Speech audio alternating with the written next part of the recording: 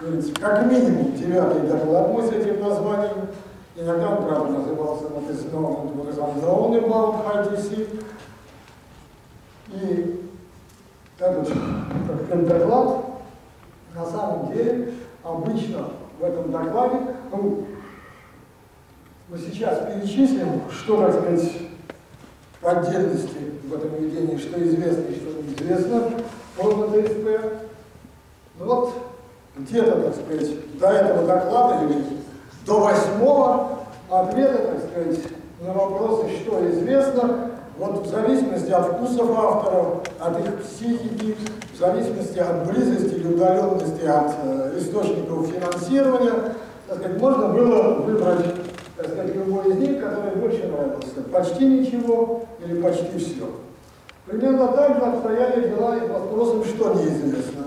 То есть тоже, так сказать, можно было выбирать в зависимости от удаленности, близости к источнику финансирования, или, так сказать, к окружению своему, или к своей психике, тоже выбирать любой из этих догнав, любой из этих ответов.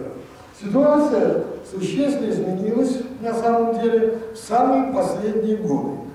А о чем я, собственно, буду рассказывать, иногда вспоминаю и старые работы. Давайте мы теперь обозначим, что же осталось, так сказать, до сих пор как бы неизвестно. Точнее, это опять же, так сказать, можно ответить на этот вопрос по-разному.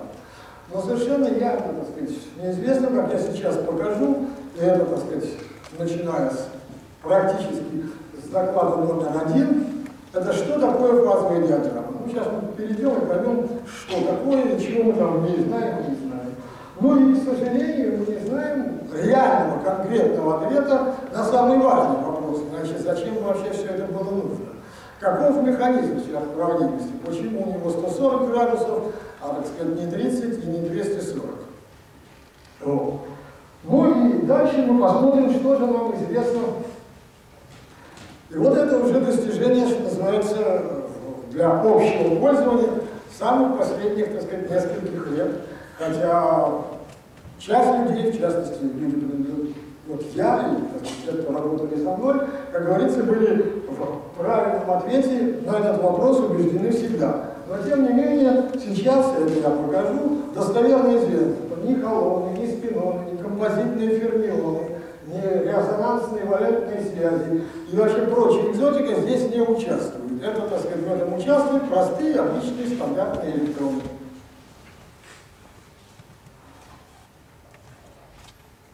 Также доказано, что это ферми жидкость. А, так сказать, не маргинальная ферми жидкость, не совсем не ферми жидкость, а что-то непонятное. Но это, конечно, несколько, не та ферми жидкость, которая была сформулирована Ландау, так сказать, в простейшем случае. Это ферми жидкость с сильным взаимодействием, когда частицы взаимодействуют не только сами с собой, но и с некими коллективными возбуждениями. Но это в некотором смысле стандартная ферми жидкость, тоже опять же без всякой экзотики. Дальше, так сказать, тоже установлено как-то четко, что вся низкоэнергетическая физика, ну, по-видимому, сверхпроводимость, определяется взаимодействиями с некими промежуточными бозонами. Ну, вопрос состоит в том, что это, так сказать, другие люди все-таки, вот, я поэтому написал бозонами, хотя, по моему твердому разумению, там стоят фаноны, а не просто бозоны.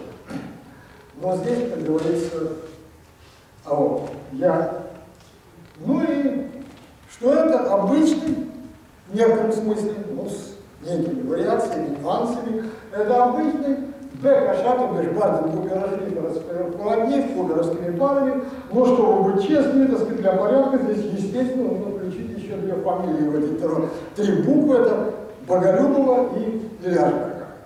Поскольку это не совсем такая уж совсем тривиальная, так сказать, Бакаша. Обычно, вот на заглавии моего доклада вместо портрета Виталия Лазаревича, который сейчас помещен специально для этого доклада, обычно стояла вот эта картинка, которая здесь вот, так сказать, показана. Ну, а тут новое название появилось. Ну, мы знаем, что даже сверхпроводимость и прочее, это, в общем, система с broken symmetry, с нарушенными симметриями. Так вот, основная симметрия, которая нарушена в теории, была многие годы в теории высокотемпературной сверхпроводимости, это нарушен, так сказать, принцип бритвой карты. Вот здесь она сформулирована. Это, так сказать, портрет Вильяма Окхам. Почему его называют бритвой Акам? И Окхам это город, где он родился. Звали его Вильям. А? Звали его Вильям, он был монах, доминиканец. Родился он в городе Окхам, который находится посередине между Оксфордом и Кембриджем. Он сформулировал идею, которая есть принцип любой на самом деле науки. Не следует вводить сущности без, без явной для того необходимости. То есть сущность была одна, она была понятна, там есть электроны. И вот там появились холоны, спиноны, композитные фермионы и прочее. И вот этот вот принцип Акамы, не вводить новых сущностей без особой необходимости, нарушался в немилосердном количестве работ по высокотемпературной сверхпроводимости. Поэтому здесь стояла, обычно, так сказать, появлялась еще, она снова появилась. Одной из целей моих восьми предыдущих докладов было то, что было сформулировано с чемпионом африканским, но Карфаген должен быть разрушен. Я думаю, что сейчас он разрушен, это будет видно, так сказать, из дальнейшего доклада. Вот начнем с фазовой диаграммы. То есть существует энное количество всяких фазовых диаграмм, в которых есть, естественно, две полсетки абсцисса и ординат. В одной осей обычно откладывается температура, а вот по второй выравнивается ничего, не откладывается. Вот, так сказать, пишут просто слова. На другой стоят это реальные цифры. И вот суть состоит в том, что я сейчас покажу, это я показывал раньше, я это сохранил, что на самом деле вот эти цифры, стоящие здесь, не имеют ни малейшего отношения к тому, чем они называются. То есть никакого допинга, так сказать, здесь нету. Что такое допинг? Это, скажем, полупроводники. Есть у нас какая-то зонная структура, мы вводим примеси, и вот электроны или дырки попадают в уже готовый некий, так сказать, спектр, ну и там в каком-то количестве скапливаются. И тогда мы можем понять, сколько, какова, так сказать, концентрация носителей. Спрашивается простой вопрос, а как, собственно, вот, вот есть даже конкретные картинки. Вот еще одна покрасившая. А вот спрашивается вот как же, так сказать, каким-то определенным цифрам, каким же образом, вот, так сказать, нанесены данные эти по сверхпроводимости, ну то, что фермер и фермер раньше, это уже ладно, бог с ними, но, что это отвечает, как определялась концентрация. В сверхпроводнике меряют критическую температуру. Спрашивается, как люди при этом определили, какой концентрации допинга относится это, собственно, так сказать, температура, это самая, критическая температура. Способ был примитивен до, так сказать, реальности. Вот некие люди, но в основном исследуют единственное соединение лантан стронция с примесью стронция, лантан стронция купрова 4, так сказать, вот эти цифры, которые там были нарисованы, вот они в некотором смысле отвечали так сказать, количеству стронция, введенное в лантан 2 купрому 4, который был до этого диэлектриком, а потом при внесении лантана стал, так сказать, и вот эти цифры отвечают в неком смысле, так сказать, количеству атомов стронция, введенные, так сказать, но он стал универсальным, никуда стронция не вносит, так сказать, и, в общем, ничего особенного с ним не делают. Вот. Так вот, способ определения концентрации, если вы измерили температуру, очень простой. Есть такая формула, знаете ТЦ, нужно теперь догадаться, слева или справа была ТЦ. То есть это то, что называется андердопинг или овердопинг, передопинг, недодопинг. После этого по этой формуле определяете ТЦ, определяете концентрацию, и у вас получается вот из вот мы наблюдали сверхпроводник, ТЦ у него было такое, при таком-то количестве, при таком-то концентрации носителей. Ну и все остальные измерения в нормальном состоянии. Вы тоже говорите, что мы наблюдали такое-то сопротивление, такое-то магнитная восприимчивость, вот при такой концентрации носителей. А эта концентрация носителей была определена вот таким способом. Спрашивается, нет ли более разумных способов определить концентрацию все-таки? Вот один из самых простых способов определить концентрацию – это так называемое оптическое правило Сунгуба. То есть мы интегрируем, знаете, померили проводимость как функцию частоты, проинтегрировали ее, что, как говорится, не дано нам.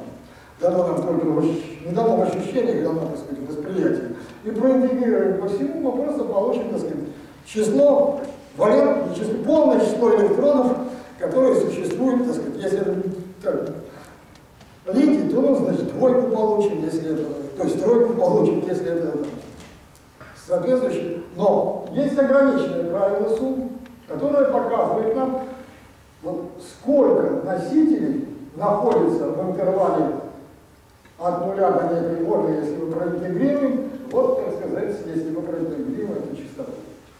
Ну, это на самом деле не совсем число носителей, и хорошо им пользоваться нельзя. Скорее, это некая вот комбинация, так сказать, из M и M, так называемая, так сказать, оптической, можно наоборот здесь поставить, что хотите, здесь поставить оптическую массу. О. Спрашивается, что нам известно про вот это, так сказать, оптическое правило Вот имеется очень давнее но никто больше, начиная с 1991 года, подобной работы не совершил. Есть только вот одна, и это, по-моему, так сказать, если повторят как-нибудь, но не на этом веществе, а на другом, это возможно только в Японии. Здесь было промерено отражение, так сказать, вот этого вот вантан, ласку, вантан 2 к 4 с примесью, так сказать, солнца. И при довольно большим, при большом интервале различных, так сказать, уровней этого самого вот э, стронция введенного. Причем меряется только коэффициент отражения, а нам нужно получить, видите, проводимость, вообще, чтобы говорить об оптическом правиле суммы или что Но обычно это делается в оптике тем, что меряется да, какой-то, так сказать, довольно большой, так сказать, энергии, коэффициент отражения один, а нам нужно действительно мнение часть получить проводимости. Обычно для этого пишут, так сказать, логарифм коэффициента отражения, для него делают, так сказать, э, формулу каши, находим мнимую часть, ну и тогда возникают две функции. Для того, чтобы в этих веществах, так сказать, можно было проделать эту операцию, так сказать, каши, получения, так сказать, из одной функции целых двух, целых двух, необходимо было интегрироваться, и здесь было так сказать, промеренно вот для такого количества, вот, так сказать, с десяток или даже больше различных, так сказать, концентраций стронция, промерили до 40 электронов вольт. И вот получили. Ну вот видно, что действительно при, так сказать, лампам, при нулевой концентрации стронция, это приличный, ну, я не знаю, как его называть, диэлектрик или полупроводник, вполне приличный, так сказать, с щелью порядка одного электрона вольт довольно большой щели, больше, чем нормальные, скажем, полупроводники.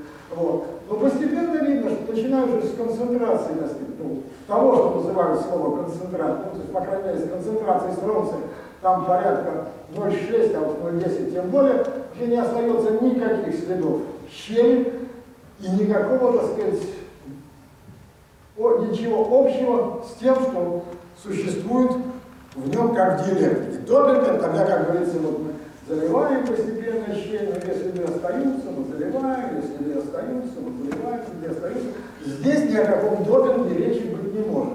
И вот видно, что в действительности концентрация носителей вот там, но это тоже некое условное мероприятие, а может быть лучше так, а вот, вот так она должна была расти если она прямо пропорциональна концентрации стронция, она видно, что она очень резко при малых концентрациях возрастает, потом почти не меняется, а образ, где она должна увеличиться, она вообще даже падает.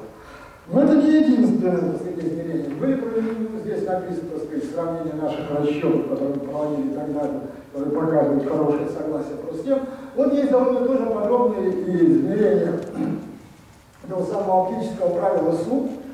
Вот для, так сказать, недобированного оптимально допированного и передопированного вещества. Ну, здесь другие вопросы исследовались, и в зависимости от правила сумм от температуры, не важно, важно, так сказать, к чему оно приходит, так сказать, в конечном итоге.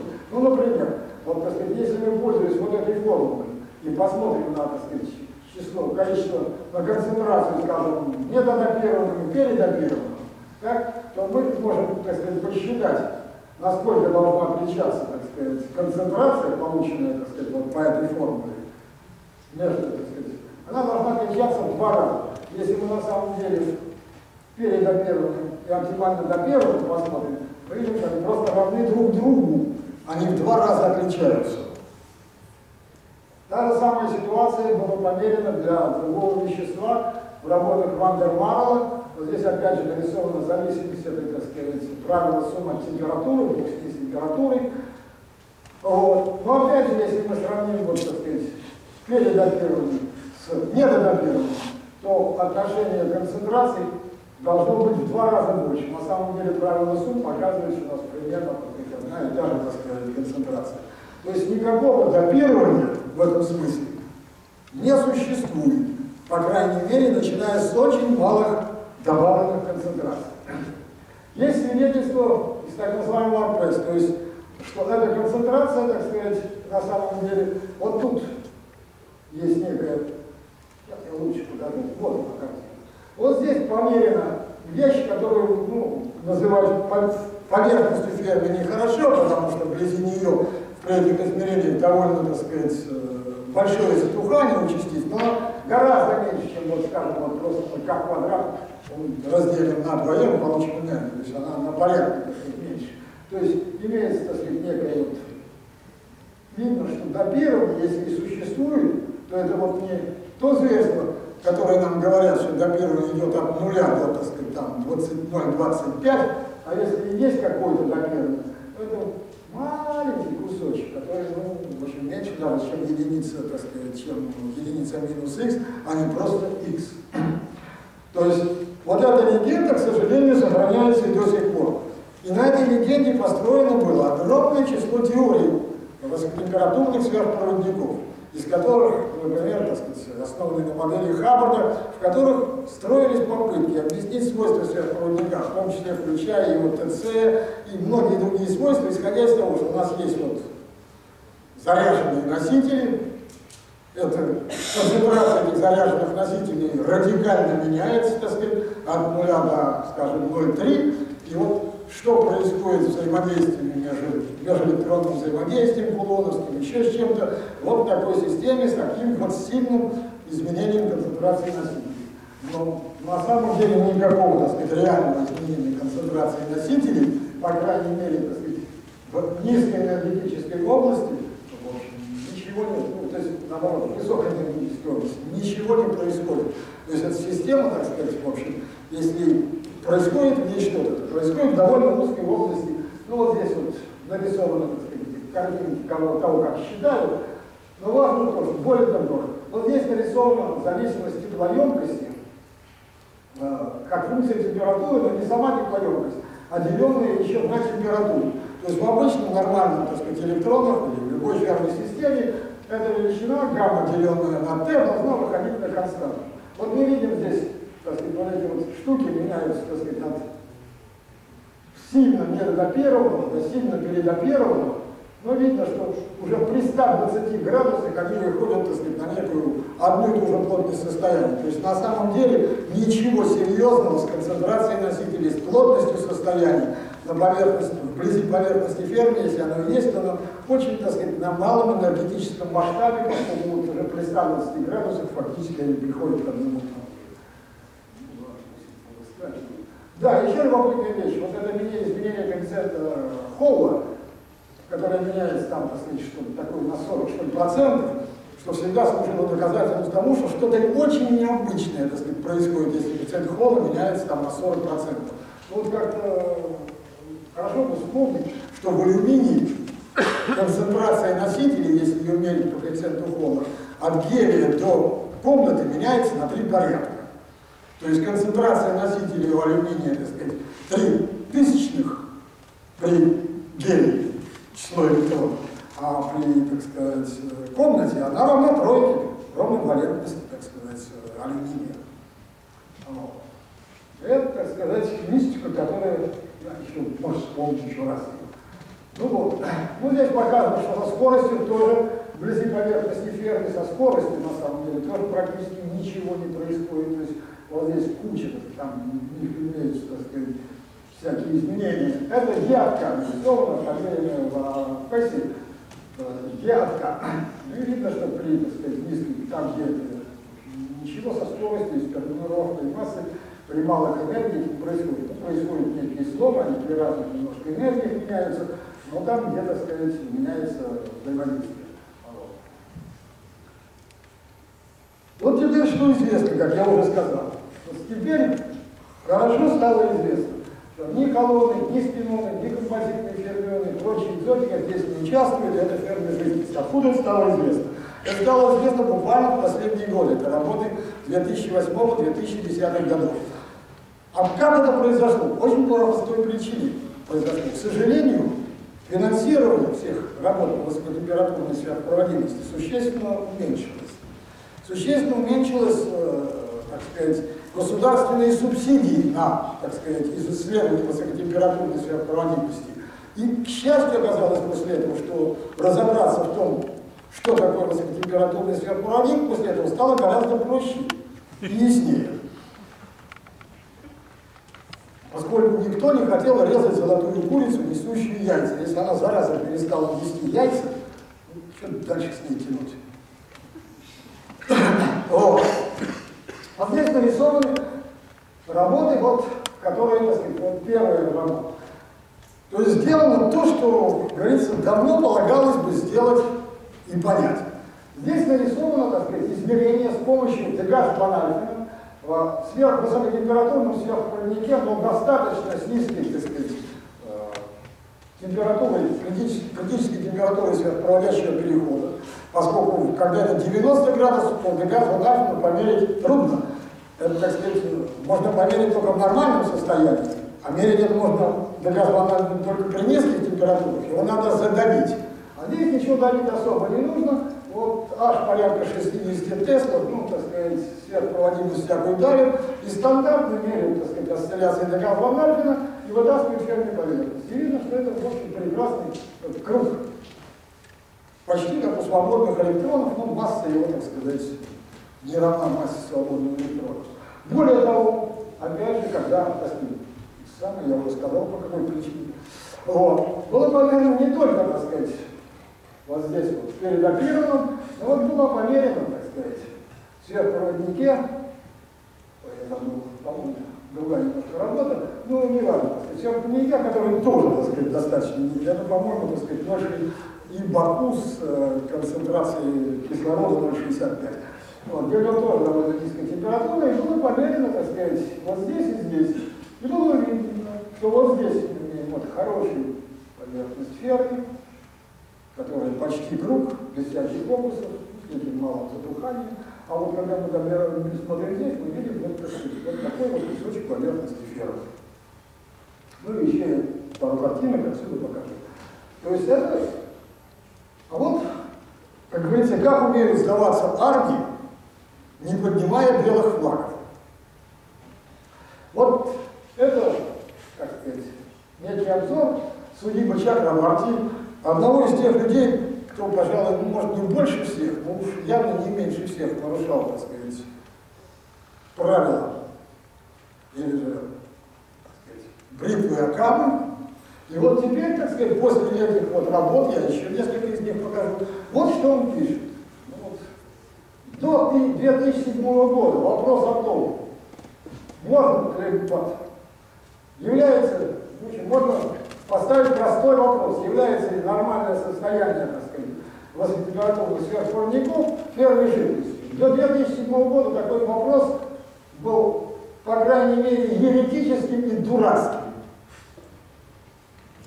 Ну, это тоже часто помогало, так сказать, то, что судьи Чакраварти, который непременный член экспертных советов э, National Science Foundation и прочих, то, как говорится, Ежин считал, что это еретические и дурацкие, то не очень человека тянуло занятие этим дурацким еретическим делом.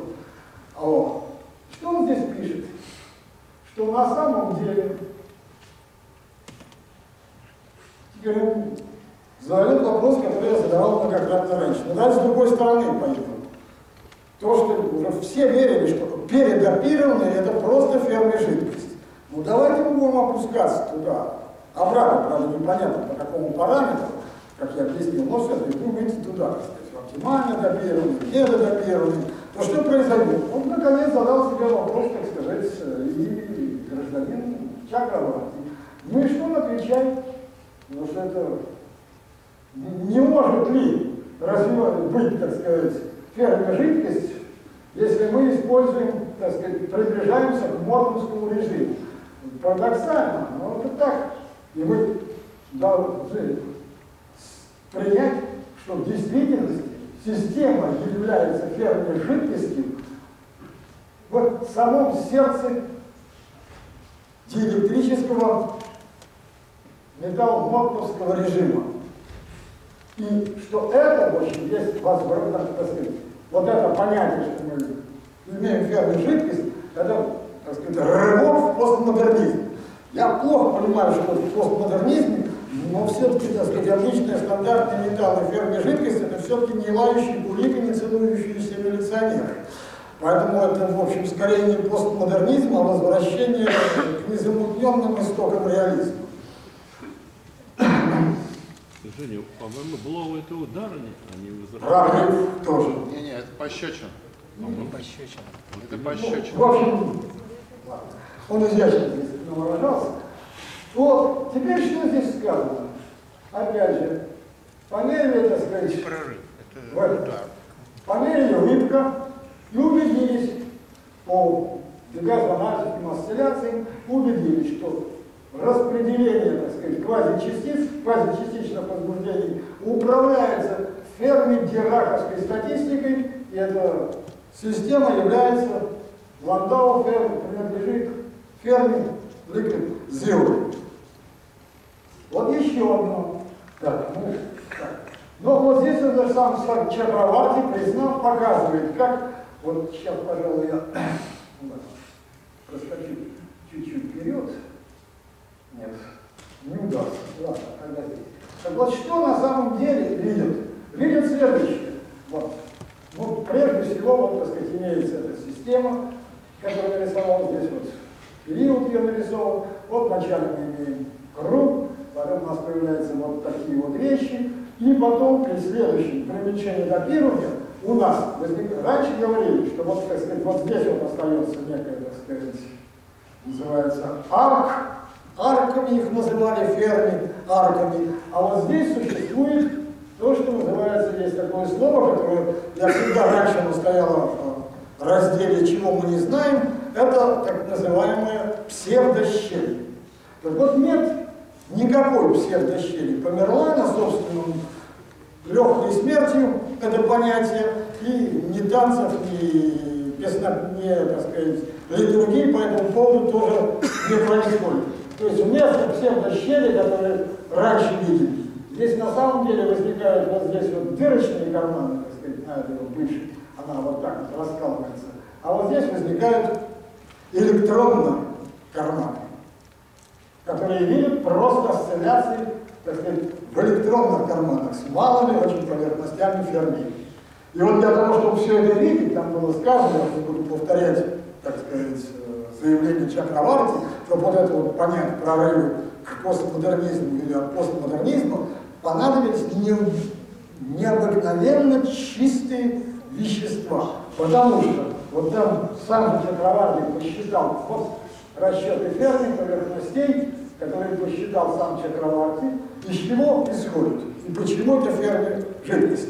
Потому что возникновение вот такое вот появление, так сказать, вот этих дырочных поверхностей ферми и электронных происходит, если мы, так сказать, давно известная, так сказать, теория, когда-то Юра занимался этими вопросами, если мы будем вводить некие, так сказать, искажения решетки, или точнее, здесь довольно специфические, так сказать, волны зарядовой плотности, хотя, в общем, это, так сказать, Спасибо, вещи. То есть просто на обычную ферму так сказать, не очень сильно. Мы накладываем дополнительно, меняем период решетки за счет возникновения различного рода, так сказать, волн зарядной плотности. И это все разделяется и рассыпается вот на такие вещи. Причем если ввести, так сказать, некую долю неупорядочения, то мгновенно у нас прежде всего вот здесь вот в очень чистом видны, так сказать, при расчете здесь нарисованы эти самые вот видны электроны. Но как, как только мы вносим, так сказать, туда грязь, на самом деле, то вот вначале исчезают дырки электронные, эти вот, так сказать, куски поверхности фермы, а потом начинаются уменьшаться вот эти вот, так сказать, радиус, не радиус, а длины этих вот, так сказать, дырочных верни поверхностей. Но здесь еще одна экспериментальная работа, в которой четко и ясно написано, что ни холонов, ни спинонов, ни так сказать, композитных фермионов ничего нет, что взаимодействующие квазичастицы в этих соединениях, так сказать, ведут себя как обычные стандартные спины, так сказать. То есть это обычные электроны, обладающие зарядом спином. Ну, дальше, так сказать, я не буду подробно рассказывать вот физику низкоэнергетическую, которой были проверены давно всякие измерения, так сказать, оптические и прочее. И вот, так сказать, здесь можно описать с помощью обобщенной формулы Труда.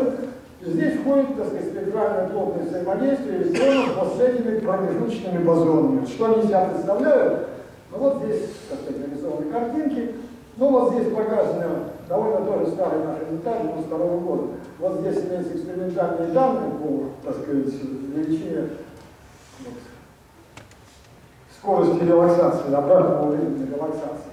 Так? Экспериментальные данные. Вот возникающие знаменитые, хорошо известные, было, были времена маргинальной теории фермы жидкости. А вот что получается, если честно, посчитать с время релаксации, с фононами, в которых в качестве функции Ляшберга спектральной плотности взять, так сказать, плотность состояния фононов и наложить на нее некую, так сказать, константу, которую мы посчитать не можем, которая должна быть вот константа электрон-фононной связи. Ну и вот то же самое для Ибаку сделано, вот это вот расчетный эксперимент. Ну и дальше, так сказать. Ну, дальше, на самом деле, то, что в Арпесе, так сказать, померили, вытащили из них то, что называется собственную энергию электронов и убедились, что все эти особенности четко отличают, так сказать, известным из эксперимента фонон, фононным частотам. Накина. Ну, это я уж не буду рисовать, как умудряются западные товарищи, руководимые бывшим нашим молодым человеком Димой Басовым, когда они решают обратную задачу извлечения, так сказать, функции Ляхберга, которая здесь величина, по определению положительная, а вот из знания как бы собственной энергетической части, то есть решают некорректно поставленную задачу, но не по Андрею Николаевичу Тихонову. В результате в ответе получается, так сказать, решение некорректной задачи, еще некорректно решают, получается, что полученный ответ, так сказать, для абсолютно положительно определенной функции, он еще позволит себе осциллировать, заходя в отрицательные энергии. Ну, здесь, так сказать, доказательство того, на самом деле, что, так сказать, никакие спиновые возбуждения привести к этим шуточкам не могут. Но вот эти интересные две статьи. Вот первая статья, так сказать, группа ну, людей, известных Киллельсон, Аэкль, вот они написали, что вот этот вот часто употребляемый спин-1 нейтронный резонанс не может никак описать электронные аномалии в обратных сверхпроводниках. Вот те самые, которые ведут в оптике. Но вот есть работа другой группы, тоже с известными людьми, вот, так сказать, товарищ Чубуков, бывший наш, товарищ Норман, который заменил э, на посту директора теоретиков в Арзоне э, Алексея Алексеевича Абрикосова.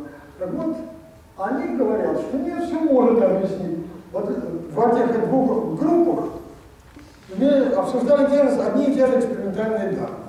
Более-менее пользуются одними и теми же формулами, чтобы вытащить константу связи, так сказать, с этими возбуждениями. Вот ответ. Это опубликовано в одном номере Physics Разница, так сказать, в константе связи, которая извлечена, из одних и тех же, так сказать, экспериментов, по одним и тем же формулам, возникает на три порядка.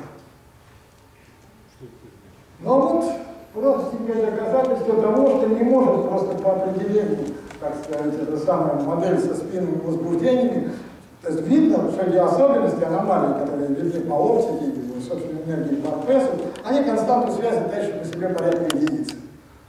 А если мы вот рассмотрим гамильтониан, который, так сказать, описывает взаимодействие электронов вот со спином, спином флюктуации, но поскольку мы знаем, что вот эта константа связи простейшем приближении есть t, квадрат, деленный на u, ну или t умножить на t, деленный на u, где u это, так сказать, константа взаимодействия полуновская на одном узле.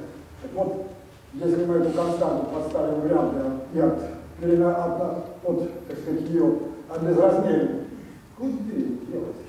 Не помню. Ну ладно. А вот на этажи, то мы получим константу связи порядка, ну она отличается на порядок как от работы АЭФ, она больше, чем у АЭФ на порядок. И на порядок меньше, чем то, что получено в работе нормы. Ну и последняя картинка, которую я хочу показать.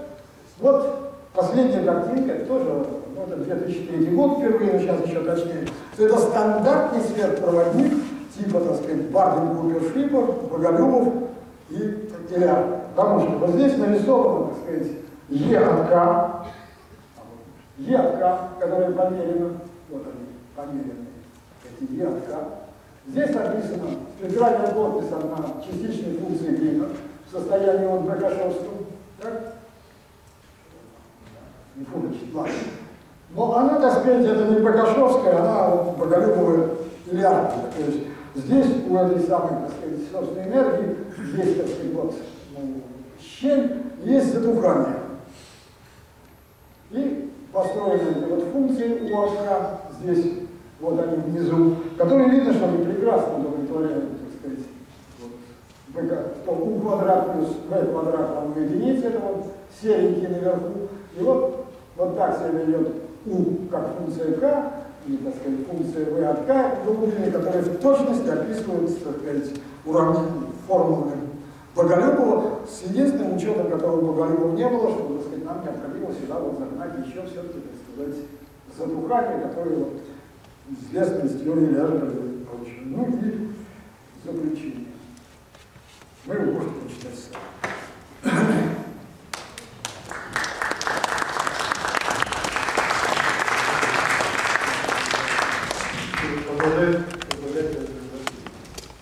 Ну, как один был, даже. А можно, я не специалист, а все-таки понять, что Еще каков же механизм высокотемпературной сверхпроводимости? Ну, как шейка, Так, механизм высокотемпературной сверхпроводимости на самом деле, если говорить о том, можно ли сказать, у одного будет 120, у другого 90, а есть те, которые 10, в этом смысле мы не знаем, мы не можем.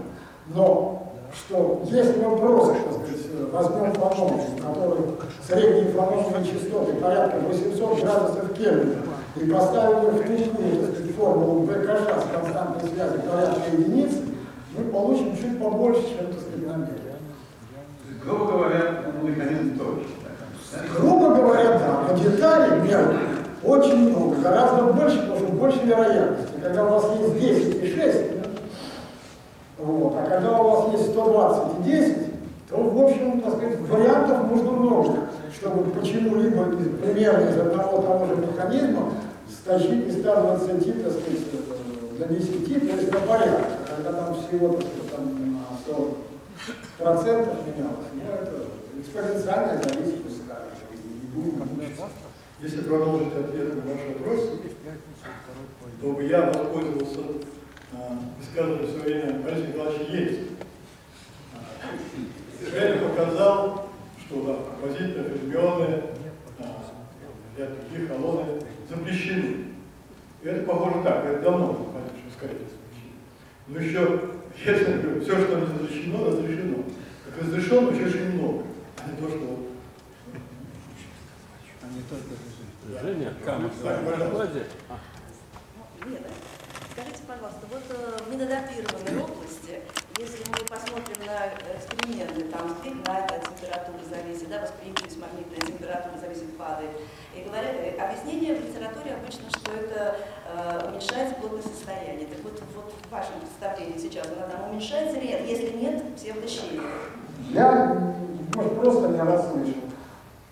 Начало вашего вопроса. Что меряется? А, значит, э, например, магнитная восприимчивость или сдвиг Найта. Что можно да?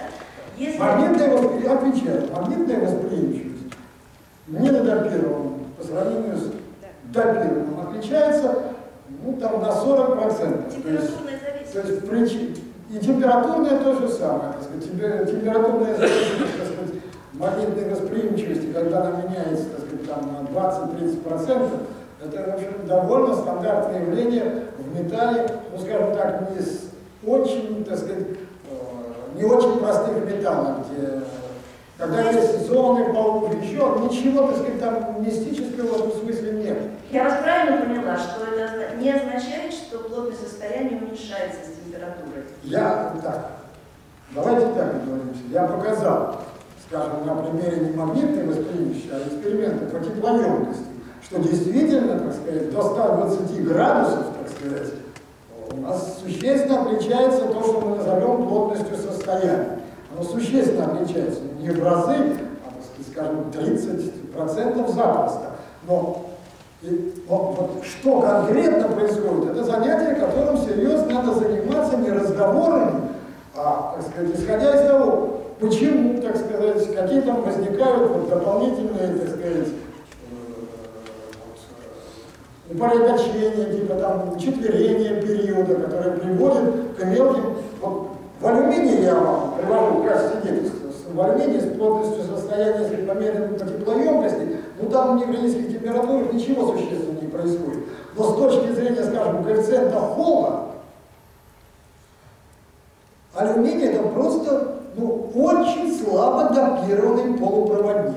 И ситуация тривиальная, потому что сфера из трех электронов в алюминии попадает прямо на 12 плоскостей, которые вот для его ГЦК структуры есть.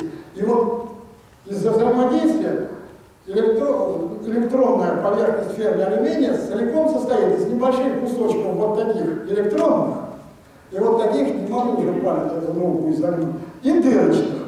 И когда мы считаем или меряем холм, у нас идет почти полная компенсация, так сказать, между электронными и дырочными состояниями.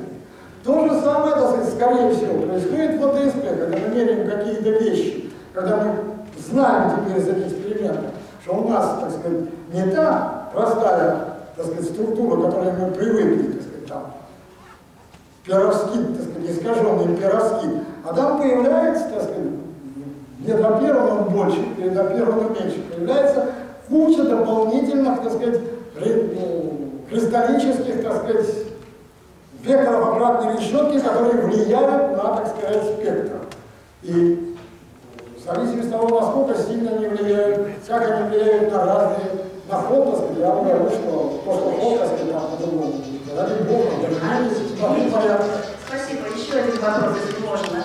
Вот для э, антиферромагнетика, который родительский, да, там э, все-таки мы спина, вот меряем восприимчивость, а спина одной второй не видим. А, вот вы, к вашему пониманию, почему там, э, в общем, реального спина? Ну, потому, что, потому что это не дает зерковский антиферромагнетик. А что? Это зонный антиферромагнетик, в котором, в общем, спин вовсе не обязан Из-за быть чего? одной второй. Из-за чего? То есть, ну как? Ну, что называете словом спин? Вы называете, например, так сказать, э, сколько, какова намагниченность, или ноль, так сказать, какова намагниченность под решетки, когда это, так сказать, электроны, причем составлен из амплитуда, она может быть, ну, вовсе не одно и второе, а, как говорится, больше трудно, чем одно и второе, но меньше она может быть всегда. Лучше сегодня отвечать после, можно подробно с девушкой. Пожалуйста, еще один. Можно задать вопрос неграмотного человека? В вашем докладе совершенно отсутствовало слово «сэндвич», так любимое Гинзбурга. Ну, а в этом, э, как он был, так сказать, в некотором смысле сэндвич, это соединение, так сказать, слоистые, нервно-кислородные плоскости. Ну, в А курс это попадает. А посередку между ними понатыкано, в зависимости от, так сказать, разных веществ, черт чего, это, в общем, так сказать, сэндвич как и был, просто от этого сэндвичности, так сказать, ничего не изменилось за то время. Это не совсем так, потому что была работа вот Разович, который делал на основе этих берет две системы, которые не та, ни другая, не серопроводят, а делает сэндвичи он серопроводит. А что здесь не удалось? Забывайте. Ну, там не было, так сказать, особо был вакантов, никто не ушел. Так, нет больше вопросов? Тогда еще раз поздравляю.